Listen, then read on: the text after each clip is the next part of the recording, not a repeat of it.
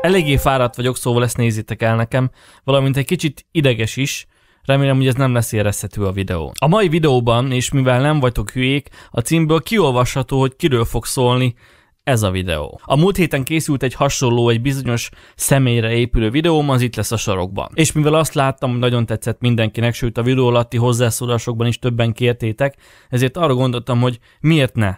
Legyen az, ami számotokra érdekes. Meg hát azért hozzám is közel állnak a hasonló témák. Na akkor.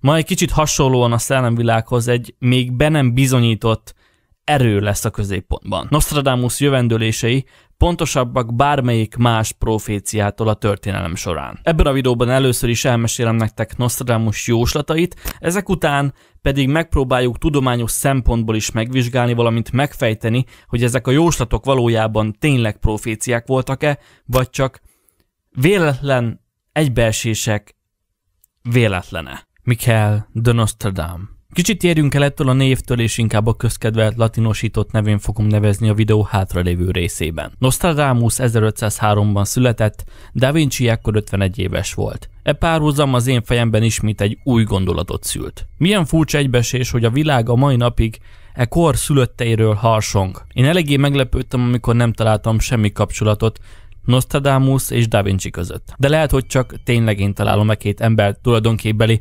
ugyanabban az időben való tevékenységének kapcsolatát, ugyanis eléggé hasonlóan, mintha mindkét eszme a jövőbe látott volna. Visszatérve Nostradamus 1503-ban született, családja egy része zsidó, valamint keresztény eredetű volt. Édesanyja általi Isten szeretete rá is ráragadt, ugyanis úgy gondolta, hogy a látomásai Istentől származnak. Tanulmányozta a csillagokat, orvosnak tanult, majd a pestis járvány kitörése előtt megnősült. A járvány pusztítása nagy hatással volt az életére, hisz az első feleségét, valamint két gyermekét is magával ragadta a fertőző betegség. Ennek következtében vándorútra indult Európába, és próbált mindenhol segíteni a betegségben szenvedőknek. A történészek szerint Nostradamus neve annak ellenére is bent maradt volna a történelemben, ha nem lettek volna jóslatai. Hisz gyógyításai csodaszámba mentek, ennek következtében csodadoktornak is nevezték. Egy máig nem ismert és csak találgatásokból leírt pirulát használt rózsasziromból és fűszerekből, melyek segítették az immunrendszer erősödését, ezáltal a páciensek legyőzték a pestist. Csodatevéseinek hamar híre ment, ennek okán gazdag nemesek is segítségül hívták őt. Ezek után később újra megnősült, de mindvégig szerény emberként élte az életét. Jóslatokat csak 45 éves korában kezdett írni, Többször említi verseiben, hogy képes az időutazásra. Ez időtájt írta meg az 1550-es évek kalendáriumát, amely a ma már jól ismert horoszkópokkal volt tele. Úgy is mondhatjuk, hogy ez a kalendárium volt a hétköznapunkban használt horoszkópok atya. Mint ma, úgy régebben is az emberek imádták olvasni a jövőjüket, királyok és királynők is rendszeres olvasói lettek Nostradamus feljegyzéseinek. Nagyon széles skálán tevékenykedett. Csillagászként, orvosként, matematikusként, gyógyszerészként és nem utolsó sorban látnokként is megállta a helyét. A 15. században mindenfajta hasonló tevékenységet vagy jövendőmondást boszorkányságnak nyilvánítottak. Pont úgy, mint Da Vinci esetében is, hogy mi van, ha tényleg tudatni akart velünk valamit. Csak nem írhatta le, mert az úgy szintén az inkvizíció hatás alá tartozott volna. Nostradamus azt állította, hogy ő pontos dátumot is tud rendelni jóslataihoz, de ezt sajnos senki sem kérte. Vagy csak ezáltal is magasabb szintre akarta emelni magát, hisz tudta, hogy úgysem kér majd senki pontos dátumot tőle. Tételezzük fel, hogyha valaki kért volna tőle pontos időpontot, és amely időpontnak semmi közelmet volna a valósághoz, akkor valószínűleg ma már csupán egy szimpla sarlatánnak gondolnánk, és nem egy időutazó vagy különleges képességekkel rendelkező férfinak. A szkeptikusok és a jobban inkább a tudomány felé hajló emberek se keseredjenek, ugyanis van még egy harmadik lehetőség is, amelyet hamarosan kifejtek. Nagyon sok verset írt, vagyis kvartinokat, amelyek jövendőléseket tartalmaznak. Körülbelül olyan ezer jóslat olvasható kvartinjainak a soraiban, amelyek fele már bekövetkezett. Vajon ezek a megfejtetetlen jóslatok, ha a múltra igazak voltak, akkor a jövőre is igazak lesznek. Mindenkinek meghagyom a kérés megválaszolását, ennek ellenére az kész és való, hogy túl sok volt a véletlen, amelyek más statisztikai alapokon fekve ma már nem számítható szimplán, csupán véletlennek. Ha felmerül bennetek a kérdés, miszerint ez csak belemagyarázás, egyéb most következő esetekbe, nem szabad elmennünk a tény mellett, hogy a belemagyarázások egy adott szám vagy egy, vagy egy egybeesés alapján készülnek, azt az alapot pedig valakinek papírra kellett vetnie. Nostradamus jóslatai. Eszméletlen sok jóslat tűnik beigazolódottnak. Bár ezt én kétségekkel kezelem, majd a videó későbbi fejezetében elárulom, hogy miért is. Mielőtt belemennénk a jóslataiba, Először is pár kisebb példával kezdeném, abból az időből, amikor Nostradamus ráébredt a jövendő jóslás képességére. Egy nagy nemes vacsorájára volt hivatalos, ahol a vendéglátója kitervelt egy aféle próbát. Megkérdezte tőle, hogy találja ki, vajon a fekete vagy a fehér malasz lesz felszolgálva a vacsorára. Mire Nostradamus azt felelte, hogy a fekete. Ennek tudatában a házigazda megparancsolta a szakásnak, hogy a fehéret készítse el. Majd amikor már a tálalás is megtörtént, újból megkérdezte tőle, mire Nostradamus ugyanazt felelte, hogy a fekete malasz lesz feltállalva. A szakáccsal való szembesítés közben viszont kiderült, hogy egyéb bökkenők következtében muszáj volt a fekete malacot felszolgálnia. Szóval Nostradamusnak mindvégig igaza volt. A következő történet szintén fiatal korában történt. A városban meglátott egy Ferences szerzetest, és mindenki számára értetlenül odament a szerzeteshez, majd térdre borult és megcsókolt a ruhájának szélét. Amikor megkérdezték tőle, hogy ezt miért tette, azt felelte, hogy meg kell csókolnom őszentsége a pápa ruháját. Mindenki értetlenül állt az eset előtt. Majd ezek után, már Nostradamus halála után, az akkoriban ruháját megcsókolt Felice Ferettit, ötödik Sinux néven pápává választották. Nostradamus már fiatal korában érezte vagy tudta, hogy a városban sétált hétköznapi szerzetesből egyszer pápa lesz. Van még egy történet, amely nekem nagyon tetszik a morbidsága miatt. Nostradamus halála után egy legenda keringet, miszerint ha valaki az eltemetett Nostradamus koponyájából iszik, az ezáltal hozzájut a jövendőmondás hatalmához. Körülbelül 200 évig senki sem háborgatta a sírt egészen 1791-ig, amikor három sírabló kiásta a Nostradamus holtestét. Majd amikor kiásták, megdöbbentek, de nem a holttest rémisztette meg őket, hanem a temetés napján 1566-ban elhelyezett tábla Nostradamus nyakába akasztva. A több mint 200 éve elhelyezett táblán egy évszám szerepelt, mégpedig 1791 május. Jobban mondva előre megjósolta hónapra pontosan sírjának, kiesásának az idejét. Itt még nincs vége a történetnek, ugyanis a legendához az is hozzátartozott, hogy aki a sírt háborgatja, az az életével fizet a tettéért. Miután az egyik rabló ivott Nostradamus koponyájából, egy arra tévedt golyó eltalálta őt, ezáltal távozott az élők sorából. Van egy olyan érzésem, hogy ez az egész egy kitalált mese, mert teljesen úgy hangzik, bár nem akarom számotokra sem lelőni ezeket a történeteket, de véleményem szerint eléggé kamuszaga van, ha pedig valóban igaz, akkor megemelem a kalapom a bátyja előtt. 557-es négy sorosában említést tesz Goffiéra, aki a léghajó feltalálója volt. A Gozi hegyről jön majd, aki egy lyukon keresztül figyelmeztetni fogja a hadsereget. A második sor csak úgy nyeri értelmét, hogyha tudjuk, hogy akkoriban a léghajók segítségével értesültek az ellenség helyzetéről. A szövegben ugye S betű található, és mivel akkoriban a nyomdák S betűi jobban hajaztak az F-re, mint az S-re, és mivel a többség Goffiénak olvasta, ezért már is kombinálni kezdett a köztudat, miszerint Nostradamus tényleg előre látta volna a léghajó feltalálását. A következő jóslatban említést tesz a harmadik birodalom bukására is. A harmadik birodalom rosszabb lesz, mint Néró cselekedete. A kemencét újra felépítik, ahogy a gyalázatos király az aranykora meghal. For Neron az annyit jelent, hogy mint aki a kemencéknél dolgozik, és valamilyen oknál fogva Hitler neve után a holokauszt majd a kemencékre asszociálunk. Valamint a versben van egy Hiszter nevű utalás, amely csak egy betűben tér el Hitler nevétől. Azonban a Hiszter az a Duna alsó szakaszának egyik ókori neve, amely az ókori római birodalom északi határát húzta meg. Szóval egy jóslatból azt hiszük el, amit bele szeretnénk, vagy bele akarunk látni. Az 1999-es évben, a hetedik hónapban az égből jön majd a rettegés nagy királya. E pár sor sokak szerint a 2001. szeptember 11-én történő terrorista merényletekre utal, hisz akkoriban Júlián naptárat használtak, amelyben a hetedik hónap a szeptembert jelenti. Az 1999 pedig a dátum anagrammája lehet, vagyis 9 11 1. A nagy király megnevezés pedig Bin Ladenre utalhat. Számomra inkább ez már egyre jobban hajaz a belemagyarázásra, mint tényekre,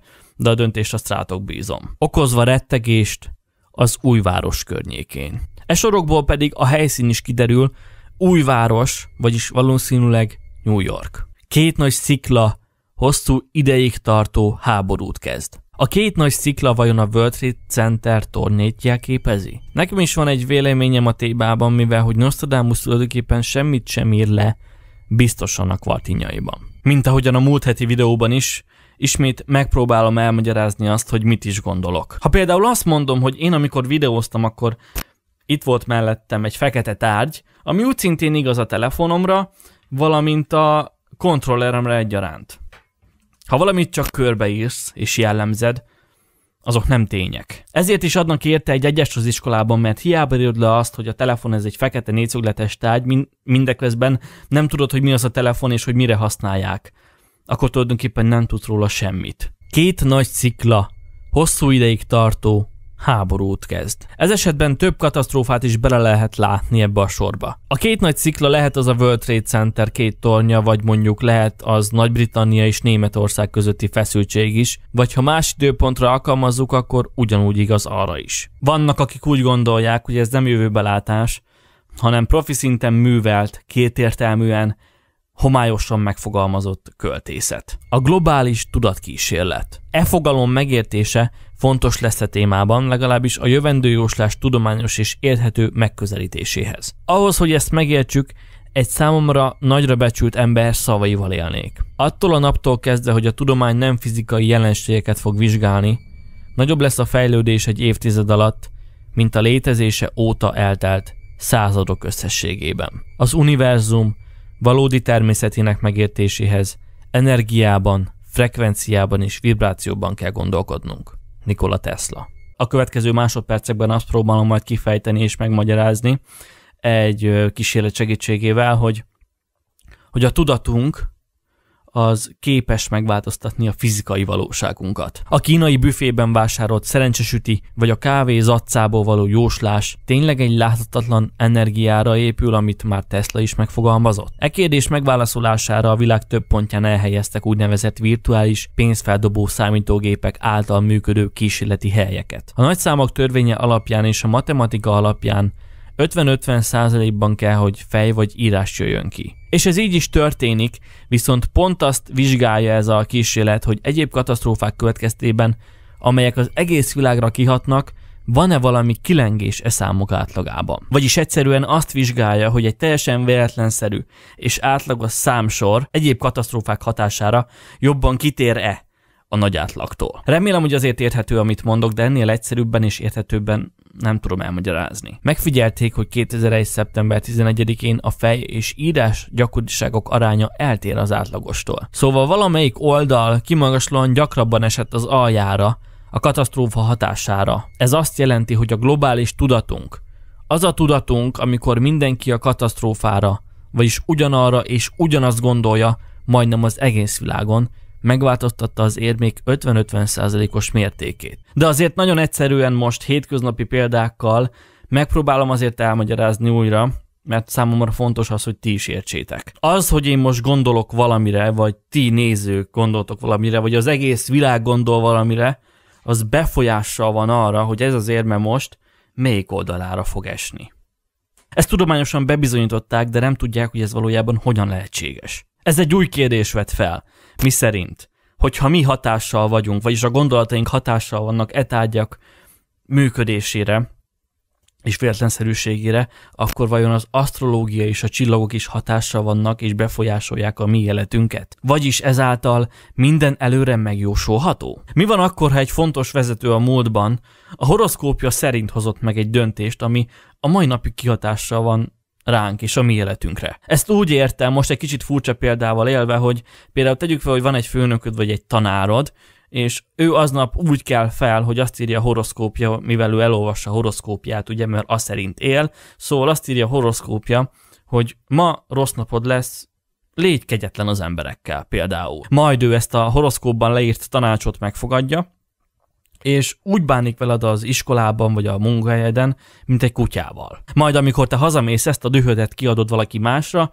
és így tovább. Ebben az esetben kijelenthető, hogy hatása volt rád az asztrológia, és a környezeteden is ilyen hullámként csöpört végig. Van, aki szerint egy mikro energia van hatással a mi döntéseinkre, és az, ennek az ellen oldala pedig az, hogy miért hiszünk egy olyan dologban, amit nem tudunk konkrét számadatokkal kimutatni. Vajon a horoszkóp is csak egy kellemes időtöltés, vagy vigaszforrás egy-egy rossz eseménynek az elfogadására? A reggeli nyugalomban a vég köszönt majd be, mikor a táncoló lókörei felugranak 9-re. Bizonyára mindenki emlékszik 2012. december 21-ére, amikor a Maja naptár szerint meghaltunk. A versben lévő reggeli nyugalom elméletileg Dél-Koreát jelenti, hisz Dél-Koreát a reggeli nyugalom földjének is nevezik. 2012. júliusában felkerült egy videó arra a platformra, ahol ti most nézitek ezt a videót. Ez volt a Gangnam Style, amely zene szerzője Psy egy dél-koreai férfi. Cowboy táncával hívta fel a világ figyelmét. A Gangnam Style 2012. december 21-én érte el az 1 milliárd nézettséget, és mint tudjuk, az 1 milliárdban 9 nulla szerepel. A reggeli nyugalomban a vég köszönt majd be, mikor a táncoló lókörei felugranak kilencre. Hogyan magyarázzuk meg ezeket a vers formába öntött jóslatokat? Nostradamus szerint a harmadik világháború az emberiség nagy részét kipusztítja és 27 évig tart majd. Valamint az emberi kor ez időben már eléri majd a 200 évet is. Utalásokat tesz a jövőben megépítendő időgép megépítésének próbálkozására is, valamint a természetes szaporodás korlátozására. Manapság nagyon sok pénzt lehet lehúzni az emberektől a jövőre való jóslatokkal. Gondolok itt például a sporteredmények fogadására, vagy egy létező weboldalra, ahol fogadhatunk bármire a jövőben, például vannak emberek, akik több ezer dollárt tesznek fel arra, hogy 2050-ben megépül az időgép. Szerintem nem látunk a jövőbe, mert a jövő a jelendődéseink szerint változhat. Vannak koponyák, akik úgy gondolják, hogy Nostradamus nem a jövőt írta le verseiben, hanem csak a múlt eseményeit, hisz egyik reneszánsz felfogást alapul véve, a múltban történő események mindegyike megismétlődik majd a jövőben is. E véletlen megismétlődések pedig azok a véletlenek, amelyekbe bizony többet is belelátunk. Természetesen nagyon sok jóslatot kihagytam, mint például a három antikrisztus eljövetelét, amiből az egyik az Napóleon, a második Hitler, a harmadik pedig még nem jött el Nostradamus szerint. De ha egyszer eljön, akkor vele együtt érkezik majd a harmadik világháború is. A holdra szállást is előle megírta, valamint a periszkóp megjelenését is, de ez már csak rajtunk múlik, hogy mi ezt mennyire hisszük jóslatnak, vagy költészetnek. Szeretném, ha kommentbe leírnátok azokat a jóslatokat, amelyeket én nem, nem említettem, azon nézők számára, akik hiányolják a hiányzó jóslatoknak a kielemzését. Így legalább a videó a komment szekcióban átvitt értelemben folytatódik majd, a kicsit hardcore érdeklődők számára. Én ennyi lettem volna mára, köszönöm, hogy itt voltatok velem is, hogy meghallgattatok, találkozunk a következő videóban. Pusz nektek, és sziasztok!